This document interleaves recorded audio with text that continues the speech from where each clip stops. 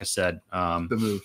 yeah, Okay. Yeah. Now, I mean, you know, I don't use an ultrasound. I mean, honestly, my goal is to get an ultrasound just Right. because I don't know if you've seen the one Socrates uses. Shout out to Socrates. Socrates in the house right now. See him in the building. I appreciate what's you. up, sock? Um, but he has this thing called a butterfly ink. It's a it's a ultrasound that hooks up to your phone. And Okay. you know, my biggest thing is like I don't you know, I just don't want to have a big clunk piece of fucking shit that I'm like clunk, you know, I have to whip it out and plug it all in. Rolling around, Right. yeah. You know, like this this thing is literally fits in, in your pocket. Like it's Yeah. nuts. But anyways, um, the reason why I feel personally like I would want to invest in ultrasound at this point is because I, I don't know my green tree pythons nearly as well as I know my ball pythons. You know, Mhm. I feel like I'm like you. Like I could definitely tell that this female is either going to go the go the distance, or obviously she's doing something to show that she's probably just going to reabsorb Sure. or miss out, right? Sure. And with with sock, like he he knows that with his green tree pythons. Like, I mean, he was able to determine a snake's ovulation by the size of the snake ovulation that it was gonna it was gonna be a horrible clutch. And I was like, how the fuck do you know that? Well, the ovulation wasn't too big, and he started breaking it down. But I feel a lot of that is a lot of that, a lot of that knowledge you, you know if you have an ultrasound. You sure? You know what yeah, I mean? you do. Um, but but at the end of the day, like like I said, if it was just my ball pythons, I mean, maybe just because I don't have enough experience with the chondros, and you've been doing the chondros with zero ultrasound for Right. this entire time. That's right. Yeah. Um, but let me ask you this: What would you feel like the biggest reasoning um, of you to this day still not having an ultrasound? For me, it's just a time thing. Like it's just it would be one more extra thing that I have to do. You Yeah, know, And another it's like another another chore to put on the list to do. Um, and you know, like my my uh, I'm not trying to. Uh, I could see it being a, a, a big tool if you didn't you were worried about spreading a male too thin. You know, Right. you you would know exactly when to introduce him, where to you know who to put him with. But you know, my collection's small enough that I'm not like you know I'm not trying to breed a male to 20 females or whatever, you know, Right. or, or whatever. I mean, I, I have one that produced, even with no ultrasound, produced 10 clutches last year. Right. One male Right. uh, sired 10 clutches. So, um, you know, maybe if you were, uh, if you were trying not to spread your male too thin, I could see it. But for me, it's just a time thing, man. It's just one, you know, one more, and it doesn't really change the outcome. You know, it kind of helps you just you're just it's a cheat code. Like you basically Yeah. know what the prediction is versus having to wait and That- just that's see- right.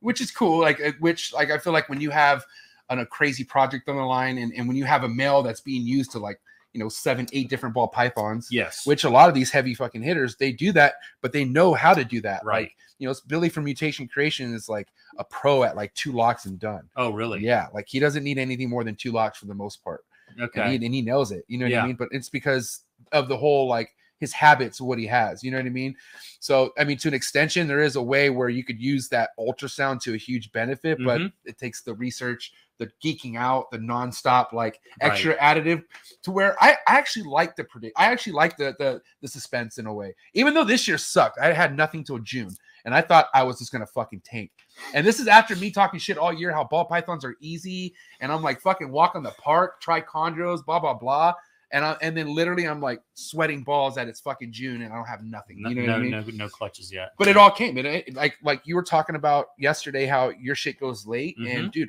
all my shit just went super late this year and I, this is only technically my second full year being a breeder so i mean i could have many other awkward years to come like i don't really Yeah. you know especially being in southern california i i told you i used the actual like ambient heating as my my weather i mean as the temperatures Yeah. my you're kind of dependent upon the outside temperature. right you know, and here to a certain extent too. I mean, this room is pretty ins- pretty well insulated, but it's still not going to get cold here. I mean, you guys, this is about as cold as it's been all year. feels good Is is you know when you guys it is got pretty here chilly yesterday. but it's not like not like east coast chilly or like maryland like you were talking about or yeah, this is kind of like the, the- Yeah. yeah the first uh uh you know it's not even really a cold snap. It's like whatever More 45 50 degrees. Yeah. Um but perfect pair, pairing weather that's that's right. Yeah. yeah um so uh but kind of the same thing, you know, I I can't really start cooling things until you know about now. Right Whereas other people, I know other parts of the country, they've already got pairings started for next year. yeah i feel like there's some places like soon as october hits they're already like Mhm. locking shit up i'm over here waiting for like you know i'm barely half done with my season and it's october you know Yeah. what i mean but at the end of the day that's why it's like you know your your demographic is your demographic like where what happens in your room happens in your room and Mhm. you know i remember in the beginning what threw me off is how like you know people people have seasons and like you know oh if she's not going at this point of the year she's not going to go at all. Well, that's not necessarily true like yeah. i mean maybe with their collection because the way they have their shit seasoned right? Mhm. but for me like you know i like i said i had so many girls that i was like dude nothing what do i do? Just keep pairing. And they eventually two three months like past what they did last year late a clutch Oh, really? like Okay. going like two three months late you know That- what i that's mean that's pretty late. that's pretty wild Most of the ones like since since I've started tracking it, like you know all the dates for when they lay, most Right. of them are within a month or so every year Right. of each other. Mine know, are- themselves. right mine are at least two to three months Okay. I have maybe I don't get me wrong, some are like within that month mark, but I have weird scenarios where they're literally going like for instance, my last my last clutch of the year is scheduled to drop sometime December, but my last clutch of the year last year was October To drop or to No. hatch?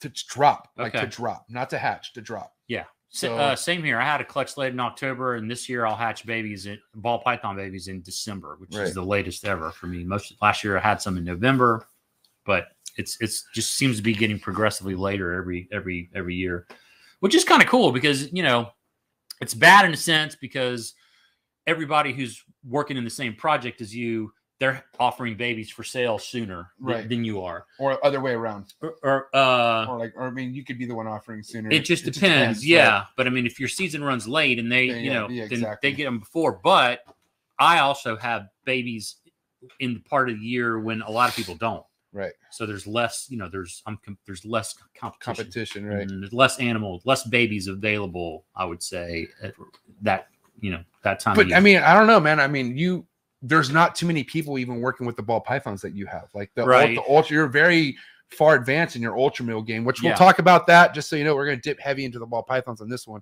Um, but yeah, like the Ultramel game, you know, is something where like people are still trying to even ch- chase a single gene Ultramel, Mhm. and you already have that going into double recessives. Like you Mhm. have, you know, which will, like I said, we'll talk about that in a minute. But um, let let me ask you this: like, are do you do you kind of price or base off like what you see on Morph Market? Is that how you price what you what you just hatch, or how's that I work mean, for well, a lot of the stuff I have, I'm the only one on like you know you? you go- Nobody, you can't, you can't price nothing. can't price it. So Right. I'll like I'll go to like say like to me, DG and Ultramel are are kind of Equi- equivalent, equivalent, you know. So like I'll go for you know for the most part. There's obviously some some things that are real hot right now. Right. DG Clown obviously is is crazy. I mean But that's a Ultramel Clown is, is hot too. Yeah.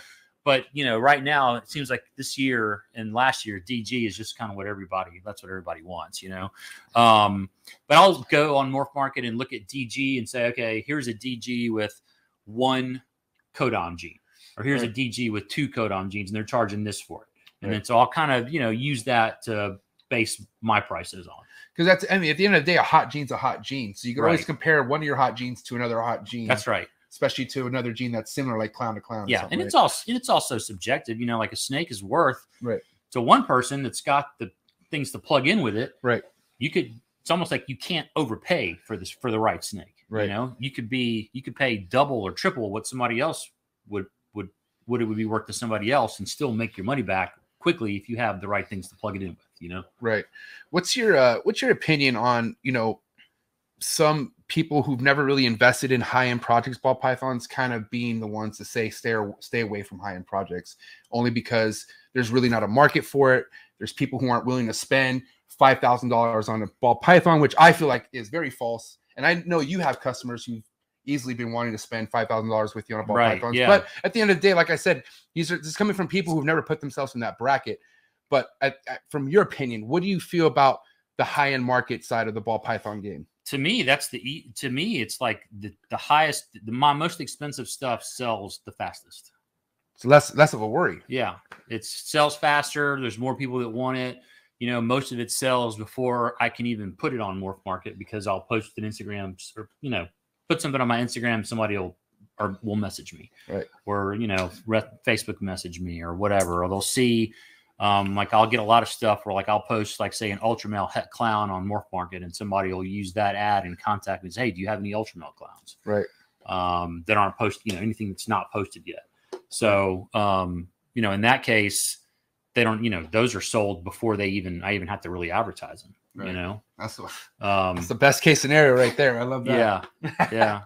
um, okay, so let me ask you this. Um, shit. God damn it, my mount, my mind went south. Um, Thank you for watching this week's Trap Talk clip. Please remember to like, share, subscribe, drop me a comment, and if you're looking for exclusive, non-release content here on YouTube, you're going to want to go down to the link and join the Trap Talk Patreon family. Once you become a part of the Patreon family, you get a link to the Discord, and then you also get tapped into all unreleased content. Thank you so much for all the love and support, and I'll catch you guys here next week. Cheers!